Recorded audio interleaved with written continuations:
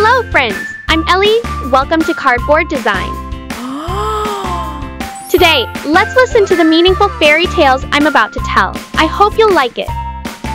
First fairy tale The Poor Miller's Boy and the Cat. In a certain mill lived an old miller who had neither wife nor child, and three apprentices served under him.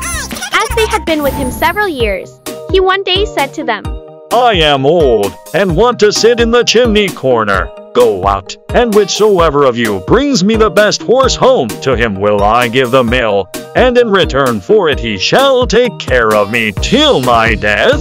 The third of the boys was, however, the drudge, who was looked on as foolish by the others.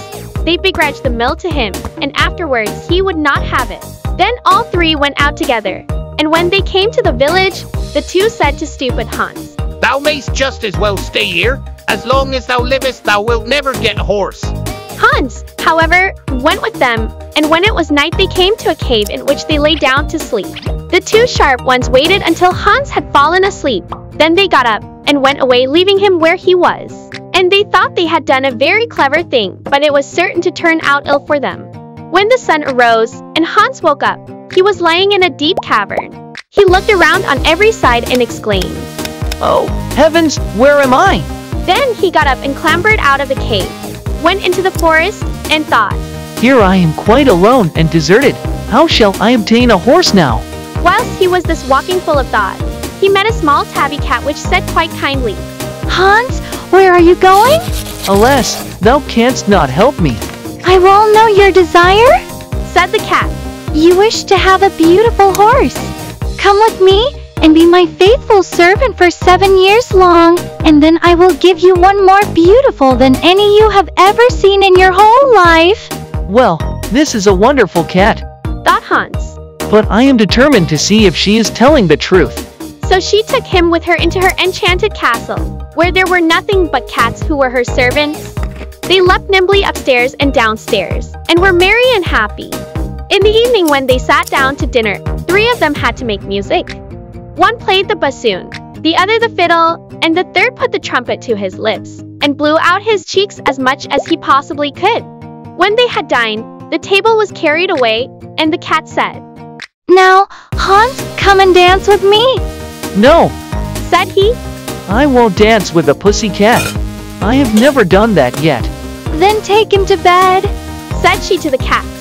So one of them lighted him to his bedroom. One pulled his shoes off, one his stockings, and at last one of them blew out the candle. Next morning they returned and helped him out of bed.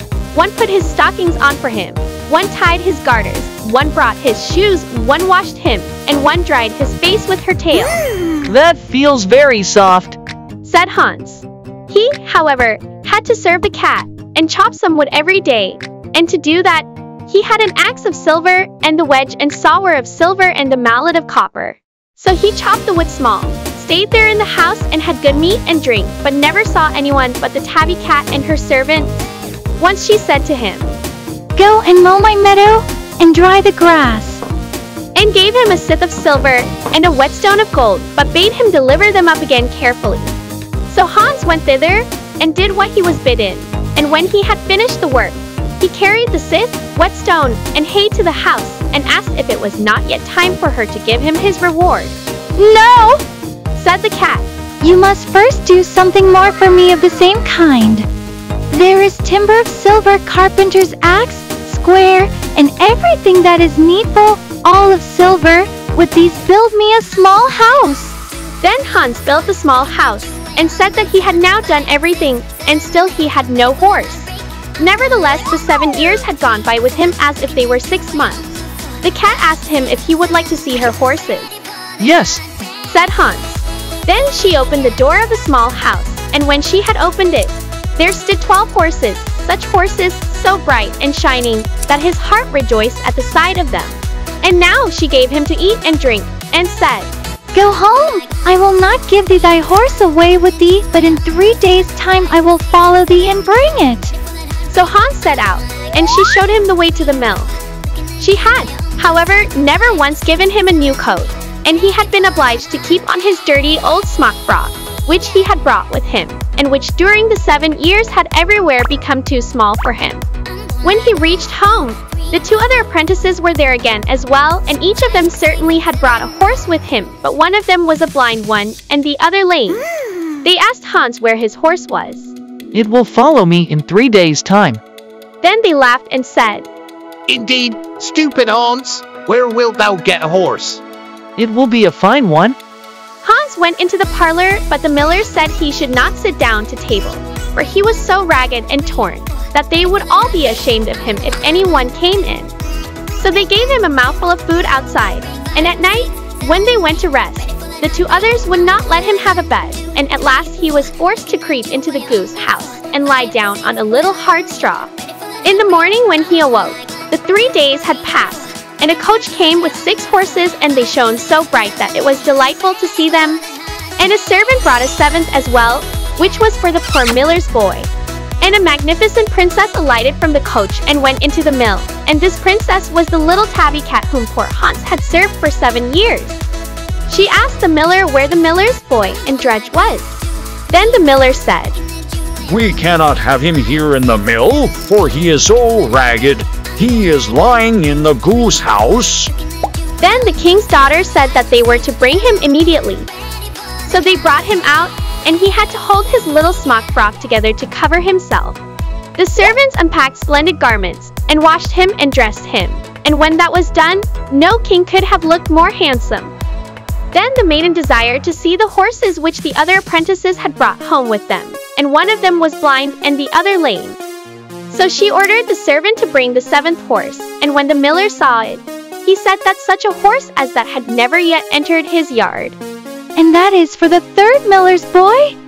Said she, Then he must have the mill. said the miller.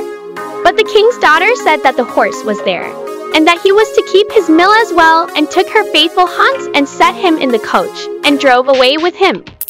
They first drove to the little house which he had built with the silver tools, and behold, it was a great castle, and everything inside it was of silver and gold. And then she married him, and he was rich, so rich that he had enough for all the rest of his life. After this, let no one ever say that anyone who is silly can never become a person of importance. Hans, despite being considered foolish, is the only one who helps the cat when she needs it. In the story, Hans's compassion is rewarded when the cat transforms into a princess and fulfills her promise. Hans does not blame or get angry when left in the cave, and he patiently carries out all the tasks the cat requests. His virtue and patience are ultimately rewarded when he receives a well-deserved reward. Despite being perceived as foolish, Hans does not shy away from challenges. He demonstrates innovation and flexibility in approaching problems, such as building a house using silver tools. This enables him to achieve his goals and surpass expectations in the end. Second fairy tale The Golden Goose. There was a man who had three sons, the youngest of whom was called the Simpleton, and was despised, laughed at, and neglected on every occasion. It happened one day that the eldest son wished to go into the forest to cut wood, and before he went his mother gave him a delicious pancake and a flask of wine, that he might not suffer from hunger or thirst. When he came into the forest, the little old gray man met him, who wished him good day, and said, Give me a bit of cake out of your pocket, and let me have a drink of your wine. I am so hungry and thirsty. But the prudent youth answered, Give you my cake and my wine. I haven't got any, be off with you. and leaving the little man standing there, he went off. Then he began to fell a tree, but he had not been at it long before he made a wrong stroke, and the hatchet hit him in the arm, so that he was obliged to go home and get it bound up. That was what came of the little gray man. Afterwards, the second son went into the wood, and the mother gave to him, as to the eldest, a pancake and a flask of wine. The little old gray man met him also, and begged for a little bit of cake and a drink of wine. But the second son spoke out plainly, saying, What I give you, I lose myself, so be off with you. and leaving the little man standing there, he went off. The punishment followed. As he was chopping away at the tree, he hit himself in the leg so severely that he had to be carried home. Then said the simpleton, Father, let me go for once into the forest to cut wood. and the father answered, Your brothers have hurt themselves by so doing. Give it up. You understand nothing about it? But the simpleton went on begging so long that the father said at last, Well, be off with you. You will only learn by experience. The mother gave him a cake. It was only made with water and baked in the ashes, and with it a flask of sour beer. When he came into the forest, the little old gray man met him and greeted him, saying, Give me a bit of your cake and a drink from your flask. I am so hungry and thirsty. And the simpleton answered, I have only a flour and water cake and sour beer. But if that is good enough for you, let us sit down together and eat. Then they sat down. And as the simpleton took out his flour and water cake, it became a rich pancake, and his sour beer became good wine. Then they ate and drank, and afterwards the little man said, As you have such a kind heart and share what you have so willingly, I will bestow good luck upon you. Yonder stands an old tree. Cut it down, and at its roots you will find something. And thereupon the little man took his departure. The simpleton went there, and hewed away at the tree, and when it fell he saw, sitting among the roots, a goose with feathers of pure gold. He lifted it out and took it with him to an inn where he intended to stay the night. The landlord had three daughters who, when they saw the goose, were curious to know what wonderful kind of bird it was, and ended by longing for one of its golden feathers. The eldest thought, I will wait for a good opportunity, and then I will pull out one of its feathers for myself. And so, when the simpleton was gone out, she seized the goose by its wing, but there her finger and hand had to stay, held fast. Soon after came the second sister with the same idea, of plucking out one of the golden feathers for herself, but scarcely had she touched her sister. Then she also was obliged to stay, held fast. Lastly came the third with the same intention, but the others screamed out, Stay away! For heaven's sake, stay away! But she did not see why she should stay away, and thought, If they do so, why should not I? and went towards them. But when she reached her sisters, there she stopped, hanging on with them. And so they had to stay all night. The next morning, the simpleton took the goose under his arm and went away, unmindful of the three girls that hung on to it. The three had always to run after him, left and right, wherever his legs carried him. In the midst of the fields, they met the parson, who, when he saw the procession, said, Shame on you, girls, running after a young fellow through the fields like this. And forthwith he seized hold of the youngest by the hand to drag her away. But hardly had he touched her when he too was obliged to run after them himself. Not long after the sexton came that way, and seeing the respected parson following at the heels of the three girls, he called out, Oh, your reverence, whither away so quickly? You forget that we have another christening today. And he seized hold of him by his gown. But no sooner had he touched him than he was obliged to follow on too. As the five tramped on, one after another, two peasants with their hoes came up from the fields, and the parson cried out to them, and begged them to come and set him and the sexton free. But no sooner had they touched the sexton than they had to follow on too. And now there were seven following the simpleton and the goose. By and by they came to a town where a king reigned, who had an only daughter who was so serious that no one could make her laugh. Therefore the king had given out that whoever should make her laugh should have her in marriage. The simpleton, when he heard this, went with his goose and his hangers on into the presence of the king's daughter. And as soon as she saw the seven people following always one after the other, she burst out laughing, and seemed as if she could never stop. And so the simpleton earned a right to her as his bride. But the king did not like him for son-in-law and made all kinds of objections, and said he must first bring a man who could drink up a whole cellar of wine. The simpleton thought that the little gray man would be able to help him, and went out into the forest, and there, on the very spot where he felled the tree, he saw a man sitting with a very sad countenance. The simpleton asked him what was the matter, and he answered, I have a great thirst, which I cannot quench. Cold water does not agree with me. I have indeed drunk up a whole cask of wine, but what good is a drop like that? Then said the simpleton, I can help you. Only come with me, and you shall have enough. He took him straight to the king's cellar, and the man sat himself down before the big vats, and drank and drank, and before a day was over he had drunk up the whole cellar full. The simpleton again asked for his bride, but the king was annoyed that a wretched fellow, called the simpleton by everybody, should carry off his daughter, and so he made new conditions. He was to produce a man who could eat up a mountain of bread. The simpleton did not hesitate long, but ran quickly off to the forest, and there in the same place sat a man who had fastened a strap round his body, making a very piteous face, and saying, I have eaten a whole bakehouse full of rolls, but what is the use of that when one is so hungry as I am? My stomach feels quite empty, and I am obliged to strap myself together, that I may not die of hunger. The simpleton was quite glad of this, and said, Get up quickly, and come along with me, and you shall have enough to eat. He led him straight to the king's courtyard, where all the meal in the kingdom had been collected and baked into a mountain of bread. The man out of the forest settled himself down before it and hastened to eat, and in one day the whole mountain had disappeared. Then the simpleton asked for his bride the third time. The king, however, found one more excuse, and said he must have a ship that should be able to sail on land or on water.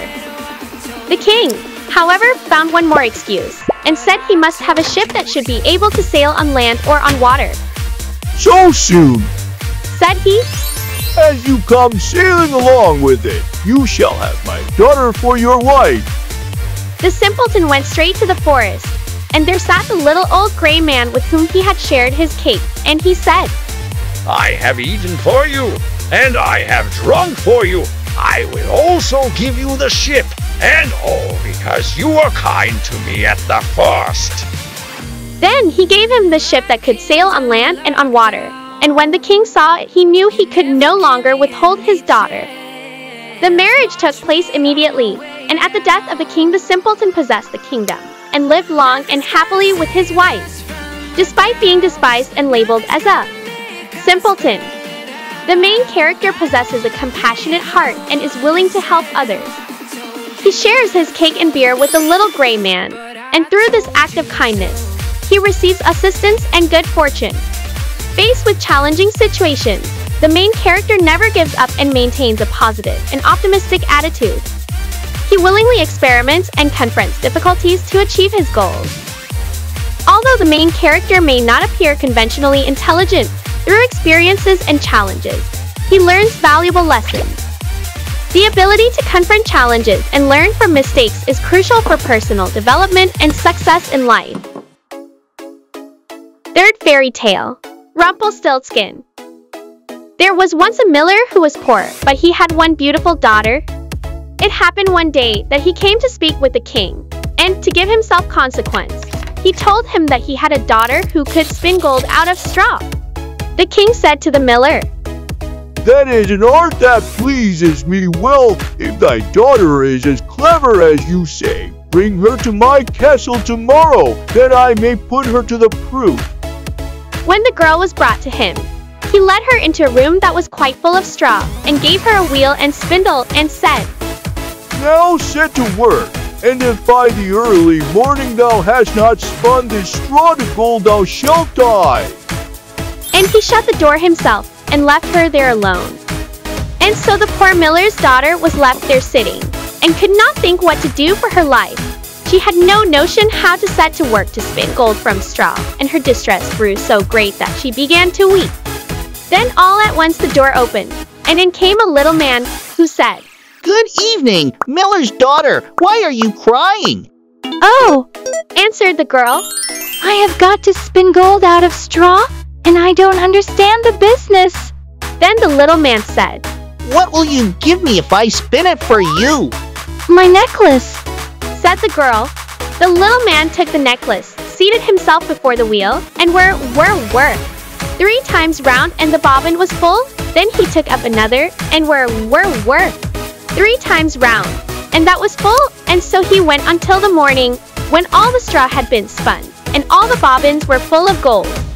At sunrise came the king, and when he saw the gold he was astonished and very much rejoiced, for he was very avaricious.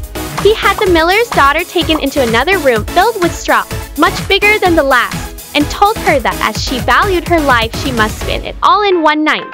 The girl did not know what to do, so she began to cry. And then the door opened, and the little man appeared and said, What will you give me if I spin all this straw into gold? The ring from my finger. Answered the girl. So the little man took the ring, and began again to send the wheel whirring round, and by the next morning all the straw was spun into glistening gold. The king was rejoiced beyond measure at the sight, but as he could never have enough of gold, he had the miller's daughter taken into a still larger room full of straw and said, This too must be spun in one night, and if you accomplish it, you shall be my wife. For he thought, Although she is but a miller's daughter, I am not likely to find anyone richer in the whole world. As soon as the girl was left alone, the little man appeared for the third time and said, What will you give me if I spin the straw for you this time? I have nothing left to give. Answered the girl. Then you must promise me the first child you have after you are queen. Said the little man. But who knows whether that will happen? Thought the girl. But as she did not know what else to do in her necessity, she promised the little man what he desired, upon which he began to spin, until all the straw was gold. And when in the morning the king came and found all done according to his wish, he caused the wedding to be held at once, and the miller's pretty daughter became a queen. In a year's time she brought a fine child into the world, and thought no more of the little man, but one day he came suddenly into her room and said, Now give me what you promised me. The queen was terrified greatly, and offered the little man all the riches of the kingdom if he would only leave the child. But the little man said, No, I would rather have something living than all the treasures of the world. Then the queen began to lament and to weep, so that the little man had pity upon her. I will give you three days, Said he, and if at the end of that time you cannot tell my name, you must give up the child to me. Then the queen spent the whole night in thinking over all the names that she had ever heard, and sent a messenger through the land to ask far and wide for all the names that could be found. And when the little man came next day, beginning with Casper, Melchior, Balthazar, she repeated all she knew, and went through the whole list, but after each the little man said, That is not my name. The second day, the queen sent to inquire of all the neighbors what the servants were called, and told the little man all the most unusual and singular names, saying, Perhaps you are called roast ribs, or sheep shanks, or spindle shanks? But he answered nothing but. That is not my name. The third day, the messenger came back again, and said, I have not been able to find one single new name, but as I passed through the woods I came to a high hill, and near it was a little house, and before the house burned a fire, and round the fire danced a comical little man, and he hopped on one leg and cried, Today do I bake, tomorrow I brew. The day after that the queen's child comes in. And oh, I am glad that nobody knew that the name I am called is Rumpelstiltskin. You cannot think how pleased the queen was to hear that name. And soon afterwards, when the little man walked in and said, Now, Mrs. Queen, what is my name? She said at first, Are you called Jack? No, Answered he. Are you called Harry? She asked again. no. Answered he. And then she said, Then perhaps your name is Rumpelstiltskin? The devil told you that. The devil told you that. cried the little man. And in his anger he stamped with his right foot so hard that it went into the ground above his knee. Then he seized his left foot with both his hands in such a fury that he split in two, and there was an end of him. In the story, the king promises to marry the girl if she can turn straw into gold. This is an impossible request, but the king made the promise without careful consideration. The lesson here is to ensure that we do not promise something that is impossible. The girl in the story faces a difficult situation when the king demands her to do the impossible. However, when she cannot solve the problem, she has to accept the consequences. The lesson here is that people need to keep their promises and face their personal responsibilities. The main character in the story is Rumpelstiltskin, a little wizard with the ability to turn straw into gold. He helps the girl solve the problem but requests her to keep his name a secret. When the secret is revealed, Rumpelstiltskin disappears. The lesson here is that sometimes keeping a secret can avoid unwanted consequences.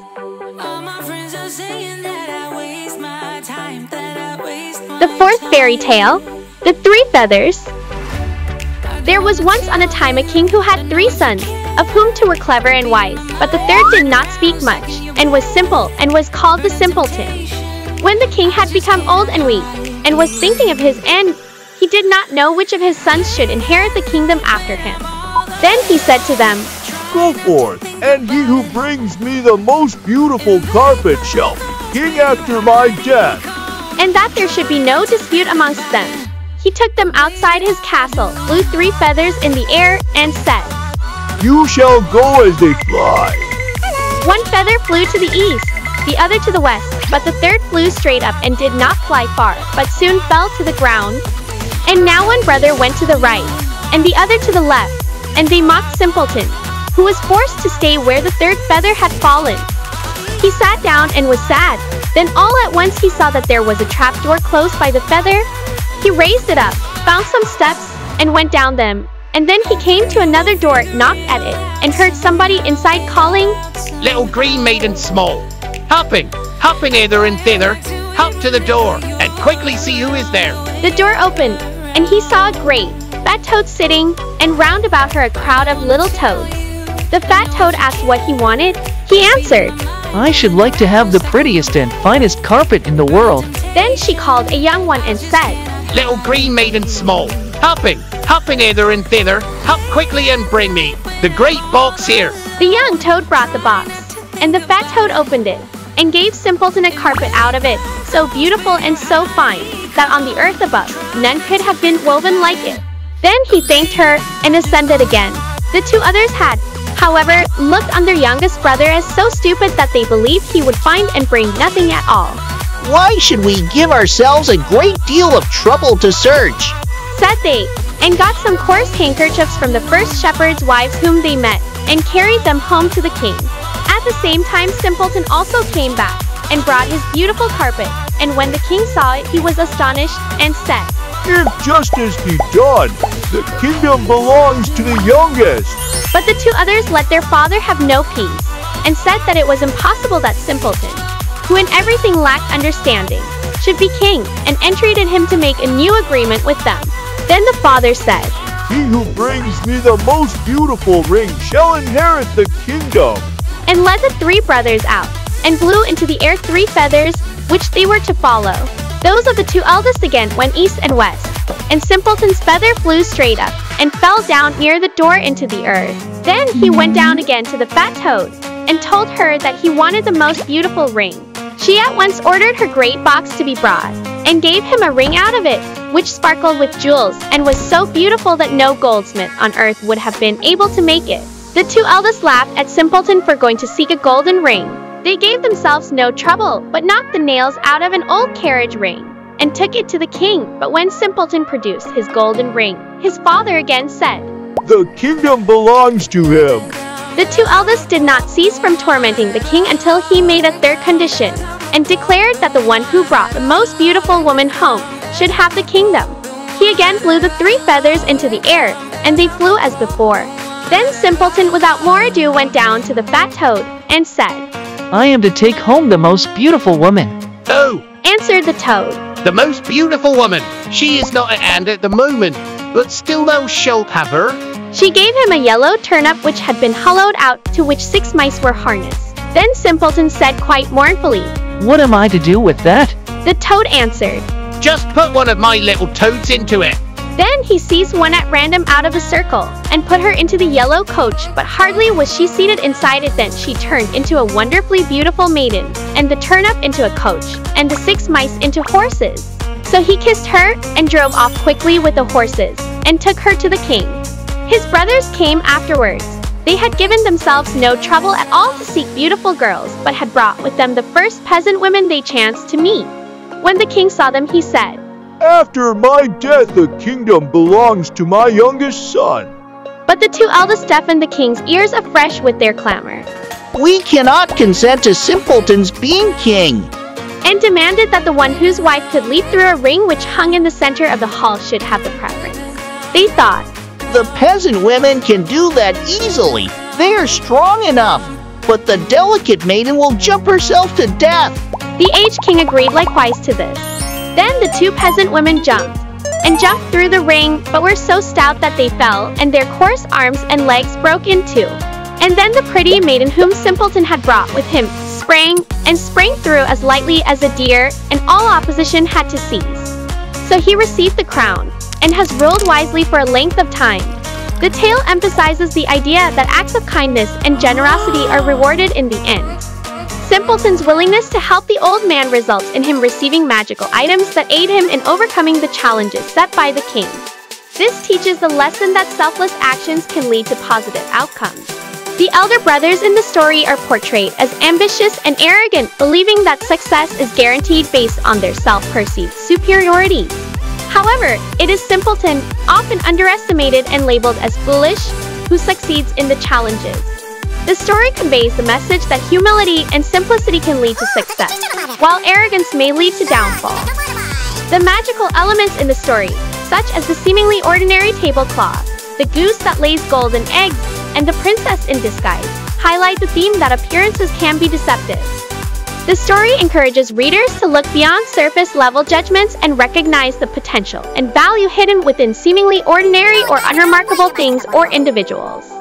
This is the end of the story. Did you like it? See you tomorrow to hear other interesting fairy tales. Bye bye!